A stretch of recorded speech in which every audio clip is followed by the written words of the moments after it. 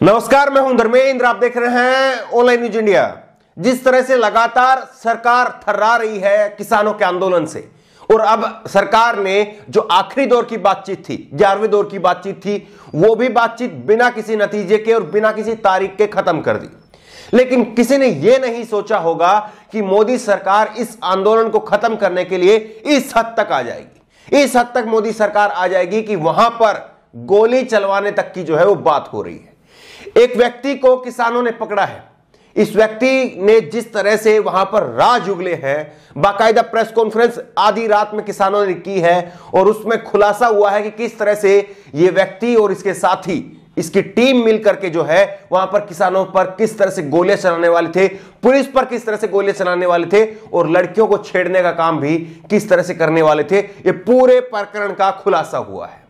लेकिन कोई इस बात का अंदाज़ा नहीं लगा सकता था कि जो आंदोलन अभी दो महीने से बिल्कुल शांति प्रिय ढंग से चल रहा है, उसमें एक अचानक से ऐसी हरकत भी जो है, वो देखने को मिल जाएगी। लेकिन ऐसी हरकत हो रही है और 23 जनवरी से यानी आज से और 26 जनवरी तक एक बड़ा प्लान है और उस प्लान का खुलासा किया है इस व्यक्ति ने। सबसे पहले आप इस व्यक्ति को देखिए, कुछ एक झलक आप इस व्यक्ति की देखिए, जिसने ये प्रेस कॉन्फ्रेंस में जो है, इस व्यक्ति ने खुलासा किया है। बड़ी प्रेस कॉन्फ्रेंस रही है, एक घंटे से ज़्यादा की प्रेस कॉन्फ्रेंस रही है।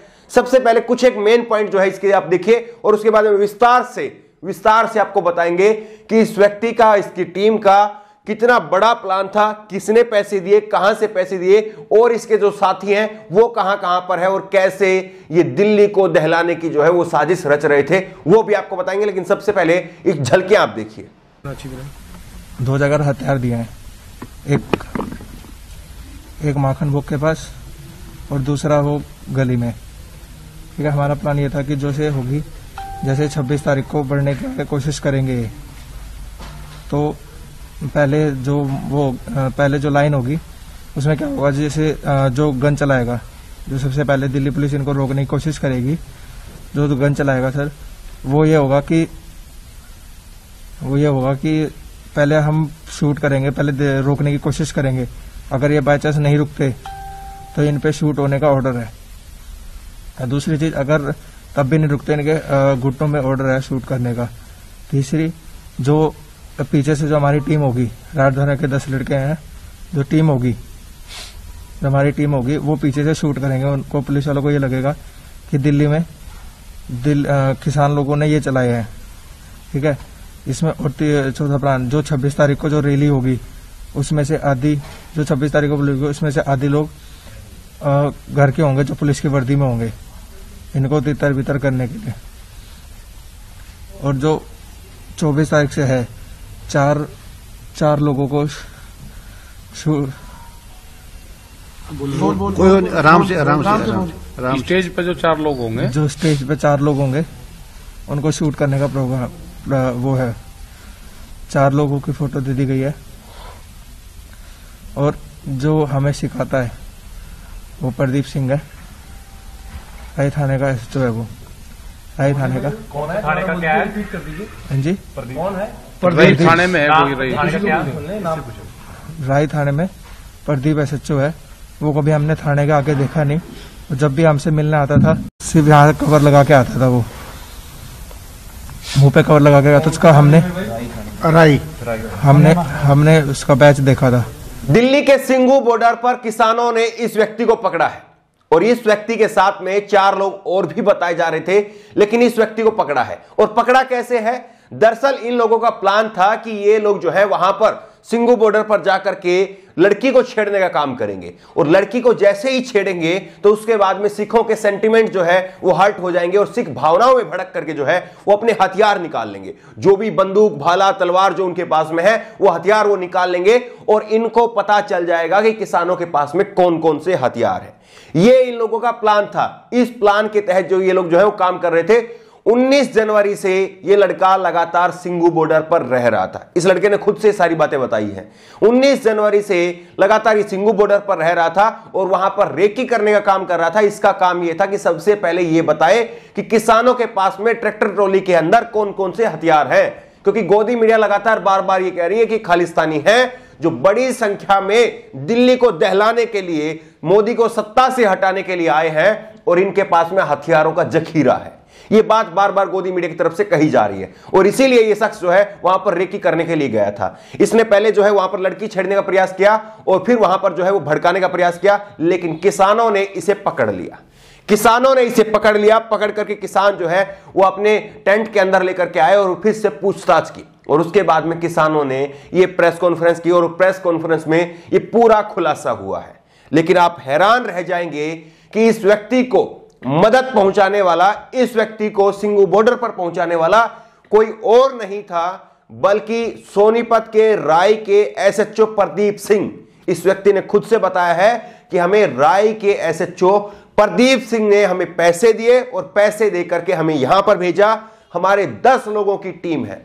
दस लोगों की टीम में से कुछ लोग जो है, वो किसानों के तरफ़ शामिल हो जाएँगे, किसानों के जत्थे में शामिल हो जाएँगे, और उसके बाद में किसान जब 26 जनवरी की परेड के लिए आगे बढ़ेंगे तो वो किसानों में शामिल होकर के और किसानों की तरफ़ से पुलिस की तरफ़ फायरिंग करेंगे। पुलिस की तरफ़ जो है, वो गोलीबारी करेंगे, और इससे पुलिस जो है, वो फायर करने के लिए मजबूर हो जाएगी, और पुलिस फिर फायर करेगी किसानों के ऊपर। तो इसमें क्या होगा? हज़ारों की संख्या में किसान मारे जाएँगे। दूसरा कुछ लोग जो हैं इनके, वो स्नाइपर के रूप में जो है, स्नाइपर वो होते हैं जो दूर से, मान लीजिए किसी बिल्डिंग से, मान लीजिए कहीं पर 200-300 मीटर दूर से जो है, वो शूट करेंगे। चार किसानों की फ़ोटो जो है, इसके मोबाइल फ़ोन में मिली है और चार किसानों को मौत के घाट उतारने का इन लोगों का प्लान था। और तीसरा बड़ा काम यह था कि इन लोगों के गृहों में दो लड़कियाँ थी, जिनका नाम बताया गया है पूजा और सुनीता। दो लड़कियाँ थी और उन लड़कियों का काम यह था कि वो लोगों को ये कहकर के भड़काए कि फला आदमी ने जो है मुझे छेड़ दिया है, मेरे साथ अश्लील हरकत की है, उसके बाद में सिख जो है, वो ऑटोमेटिक भड़क जाए। और उसके बाद में फिर वे पूरा जो है, वो दंगे का रूप ले ले और उसके बाद में आसान हो जाए सरकार के लिए, वहाँ पर बल प्रयोग जो है, वो करके और इनको वहाँ से खदेड़ा जाए। ये जो है बातें इन्होंने जो है, वो बताई थी। इससे पहले भी ये लड़का जो है और इसकी टीम के जो साथी हैं, वो हरियाणा के अंदर जो जाट आंदोलन हुआ था, उस जाट आंदोलन में भी हिंसा फैलाने का काम ये लोग कर चुके हैं। और पुलिस की वर्दी पहन करके इन लोगों ने ये काम किया था। लेकिन आप सोचिए कि किस तरह से जो है वो एक बड़ा प्लान जो है, वो बनाया जा रहा है कैसे कैसे लोगों को जो है, वो वहाँ पर भेजा जा रहा है। और इसीलिए कई सारे प्रोटेस्ट में हमने देखा होगा कि ये वीडियो जो है, वो वायरल होता है कि पुलिस वाले जो है, वो बगैर नेम प्लेट के जो है, बगैर नेम प्लेट के वहाँ पर कार्रवाई करते हुए नज़र आते हैं। तो क्या वो ऐसे ही लोग हैं जिनके ऊपर आरोप ये लगता है कि वो बीजेपी आरएसएस के लोग हैं, जो पुलिस की वर्दी में वहाँ पर प्रदर्शनकारियों को, चाहे वो सीएनआरसी की बात हो चाहे वो अलग अलग प्रोटेस्ट की बात हो, इसी तरह से बगैर नेम प्लेट के जो है, वो वहाँ पर नज़र आते हैं। तो सवाल यही है कि 26 जनवरी के लिए अब ये खेल जो है, वो पूरी तरह से खुल चुका है और पूरी तरह से शुरू हो चुका है। लेकिन सवाल यह है, क्या सरकार जो है, इसी तरह से, जिस तरह से ये लड़का बता रहा है, इसी तरह से इस आंदोलन को खत्म करने की तैयारी कर रही है? क्या सरकार इतनी थर्रा गई है कि उनको, सरकार को जो है, ऐसे ऐसे लोगों का इस्तेमाल करना पड़ रहा है? लेकिन सबसे बड़ा सवाल यह है कि जिस तरह से किसानों ने इसको पकड़ करके पुलिस के हवाले किया है, बगैर किसी मारपीट के और शांति से इसके पहले, सबसे पहले जो है, इसकी प्रेस कॉन्फ्रेंस, सारी बातें जो है, वो पत्रकारों के सामने रखवा करके तब इसको पुलिस के हवाले किया है। अगर इसको सीधे पुलिस के हवाले कर देते तो सारी बातें जो हमने आपको बताई है, ये नहीं पता चल पाती। इसलिए किसानों ने एक समझदारी का काम ये ज़रूर किया है कि पुलिस को बाद में जो है वो जानकारी दी है, लेकिन पहले इससे पत्रकारों से सामने ला करके सारी बातें जो है उनका पर्दाफाश कर दिया और उसके बाद में पुलिस को जानकारी दे दी और इसको पुलिस के हवाले कर दिया गया है। सवाल यही है कि ऐसे कितने और लोग हैं? किसानों को भी अलर्ट हो जाना चाहिए। ना जाने, ये तो एक दस लोगों की टीम बताई जा रही है, ऐसे और भी लोग हो सकते हैं। बहरहाल, जिस तरह से इस लड़के को पकड़ा गया है और किसानों ने इससे प्रेस कॉन्फ्रेंस करवा करके सारे पर्दे पर से जो राज हटाए हैं उसको लेकर के आपकी राय क्या है? नीचे कमेंट बॉक्स में अपनी राय ज़रूर दें। और इसी वीडियो को ज़्यादा से ज़्यादा शेयर करें ताकि लोगों तक सच पहुँच सके कि किस तरह से किसानों के साथ में एक बड़ी साजिश जो है, वो रची जा रही है। धन्यवाद। इस खबर को अभी लाइक करें शेयर करें। अभी चैनल को सब्सक्राइब करें और घंटी ज़रूर दबाएँ।